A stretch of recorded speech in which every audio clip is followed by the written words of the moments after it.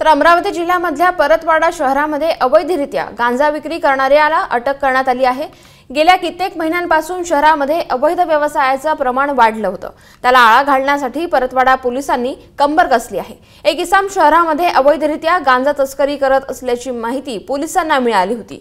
त्या माहितीच्या आधारे पोलिसांनी आठवडी बाजार इथे जाऊन आरोपी शंकर राजाराम बेलसरे याला रंगेहात पकडून एक किलो दोनशे ग्रॅम गांजा जप्त केला.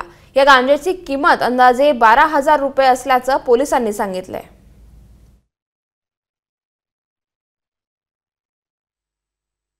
एक इसम अ, गांज्याची गांजाची विक्री करत आहे. गांजा त्यांच्यासोबत बाळगलेला आहे. अशा माहितीवरून आम्ही आमचं एक पथक P S I Gore P I Aale आणि स्टाफ हा घटनास्थळी रवाना केला आणि त्यानुसार आरोपीवर रेड केला. जो कायदेशीररित्या रेड करण्यात आला त्याच्यावर. तर त्या त्याच्या ताब्यामध्ये एक किलो दोनशे ग्रॅम गांजा मिळून आला. आणि एक आम्ही मोहीम सुरू केलेली आहे परतवाडा शहरामध्ये की व्यसनमुक्त शहर.